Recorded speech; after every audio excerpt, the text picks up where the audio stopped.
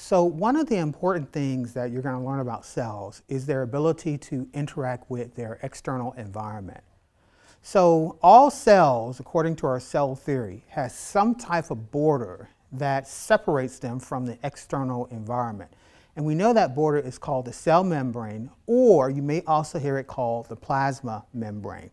In order for a cell to survive, it has to be able to exchange with the environment, whether it is gathering nutrients from the environment, water, or whether it is getting rid of waste and putting them into the environment. What we like to do now in this part of the experiment is show you how those membranes are what we call selectively permeable. And as the name implies, it simply means that it selects for certain things to go past it, but will block other things.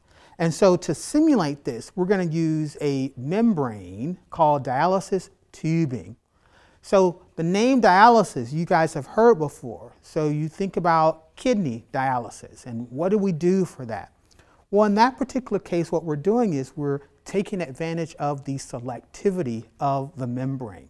So when you get hooked up to a dialysis machine, it is designed to remove the waste from your blood but allow your blood to maintain the important proteins that's circulating within it. So it's selectively permeable. So we're going to use that to help us mimic what a cell membrane will do. So as I'm explaining the protocol, it is a good idea for you to follow along with the manual so you understand how we were able to get the results that we got. So the first thing we're going to look at is the actual dialysis tubing.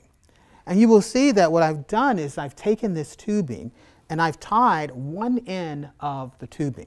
We're going to do this because we're eventually going to fill the tubing up with starch. And so we want to make sure that the starch does not leak out. And so we open the tubing, and once we open the tubing, we're going to fill it with cornstarch. Remember in previous lab, we know that we can test for the presence of starch using this thing called Lugol's solution. And we're going to take advantage of that.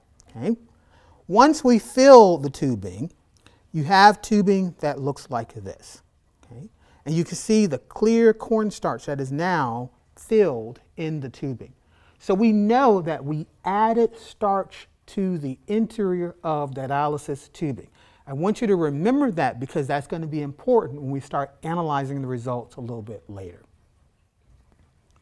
So the next step is, just as we saw in the chemistry of life, we need some Lugol's in order to identify the presence of the starch. So in a beaker, we're going to add drops of Lugol's until we get into a nice golden brown color. Okay? And after we do that, we're going to take our dialysis tubing and then we're going to drop it into the Lugol's. What are we looking for? We're trying to see what molecules the membrane is selecting for. So in your lab manual, you should be able to identify that we are looking at three different molecules, okay?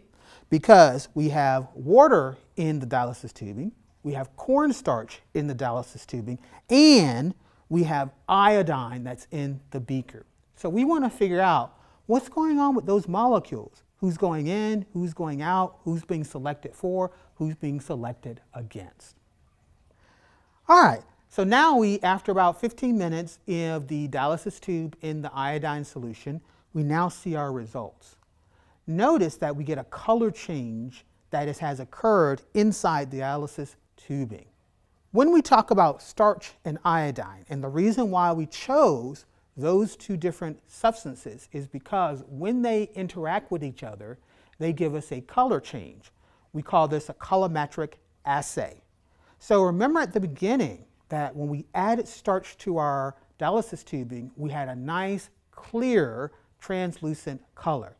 Now we see that we have a dark purple, almost black color that's associated with it.